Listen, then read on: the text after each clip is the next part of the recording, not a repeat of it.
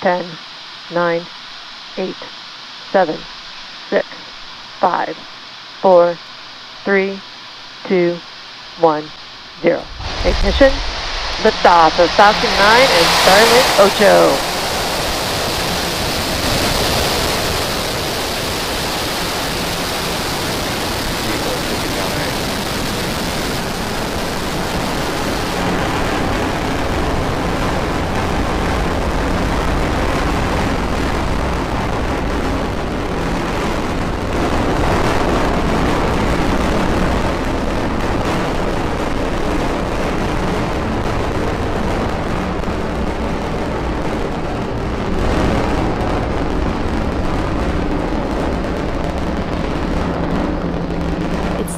Plus 40 seconds into flight and Falcon 9 has just had a successful liftoff. are nominal. A successful liftoff from pad 40 for its first Starlink rideshare carrying three Planet SkySats and our SpaceX Starlink satellites. Next coming up will be Max Q.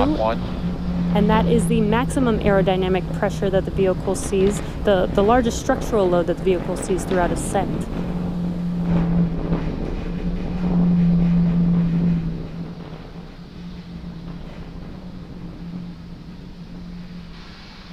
Max Q.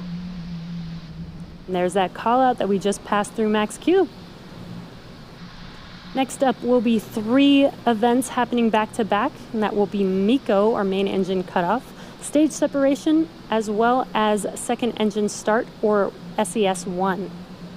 Main engine cutoff, or MECO, is when all nine of the M1D engines shut off and slow the vehicle down in preparation for the next event, which is stage separation.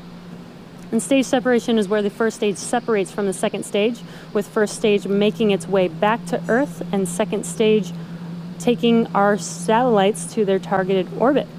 And then finally will be SES-1, which is second engine start with that MVAC engine lighting up and taking those... Vehicle is following a nominal trajectory. And taking those satellites to orbit. Now those three events are coming up here in about 15 seconds. Again, that is MECO, stage separation, and SES-1.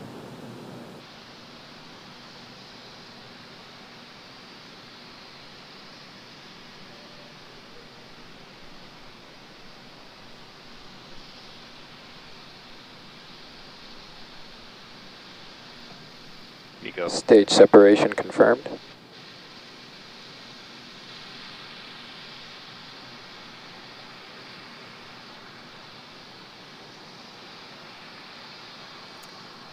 And there, as you saw live on your screen, MECO, main engine cutoff, and stage separation. First stage being on your left screen, on your right screen is second stage with that MVAC engine glowing bright red there. On your left screen, you can see those grid fins deploying on the first stage. Those grid fins help. Fairing separation confirmed.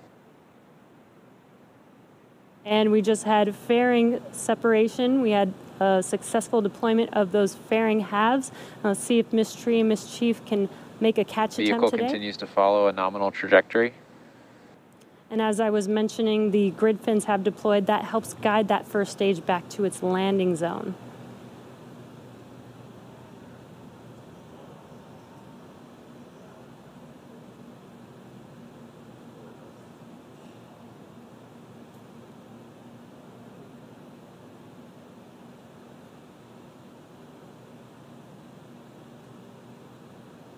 Acquisition of signal Bermuda.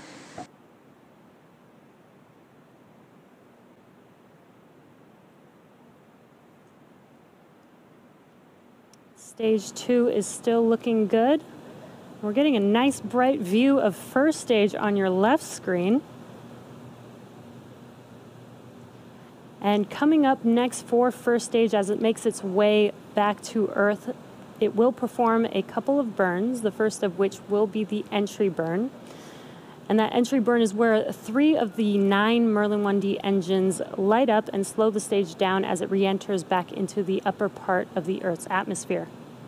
The second burn is called the landing burn, and this is when the single engine on the, on the vehicle, the E9 engine, ignites and brings the vehicle speed down rapidly in order to land on the drone ship. And again, we are attempting to land on our drone ship. Of course, I still love you today.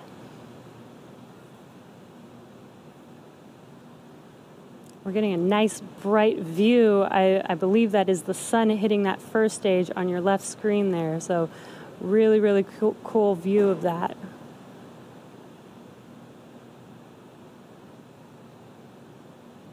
Second stage is still looking good. That is on your right screen.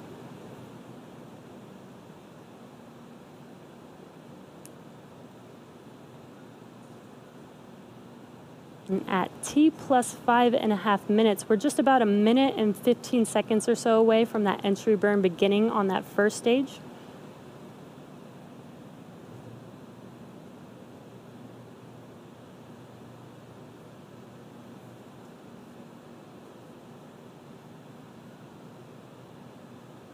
Vehicle continues to follow a nominal trajectory. There's that call out that the second stage vehicle is still on a good trajectory.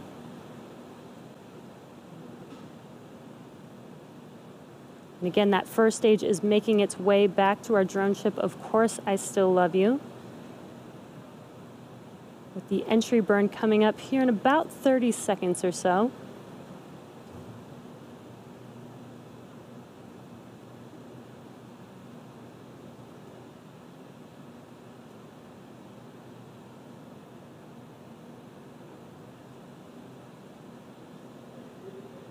Again, if you're just now joining us, what you can see on your left screen is first stage with those grid fins deployed, guiding the vehicle back to its landing zone. Stage 1 FTS is saved.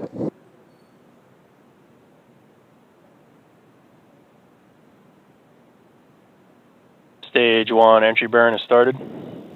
And there you can see that the entry burn has begun. It's lighting up that screen pretty bright there. The entry burn will last about 20 seconds long.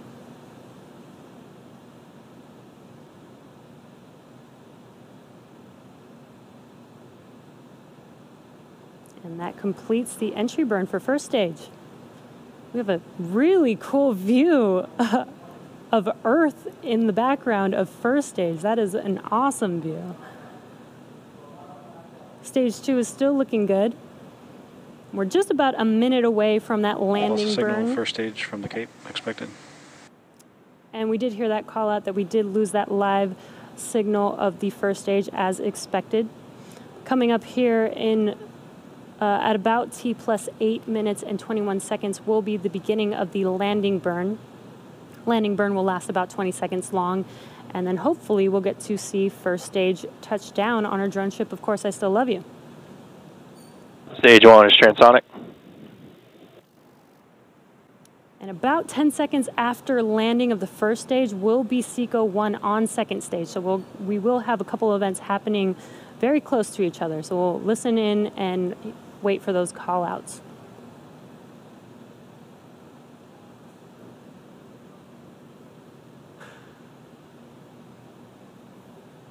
Stage 2 has entered terminal guidance. Stage 1 landing burn has started. And that landing burn has begun on the first stage. Again, this will last about 20 seconds long. Let's wait and watch to see if we can land this booster Stage for 2 a third FTS time. is saved. Stage 1 landing legs have deployed.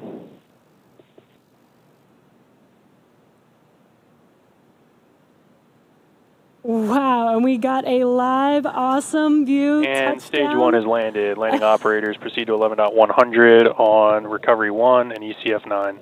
And there you heard that call out, and you can see on your left screen that stage one has landed on Of Course I Still Love You. We are waiting for stage two for SECO 1, which is second engine cutoff. What an awesome view of that first stage. Nominal orbital insertion. All right, starting uh, TX Prime we- RF1A on. We did confirm SECO Newfoundland, loss of and confirmed good orbit. So now that second stage is going to coast in this orbit for a few minutes. We're going to take a quick break and return back at T plus 11 minutes and 30 seconds for the deployment of Planet's three SkySats.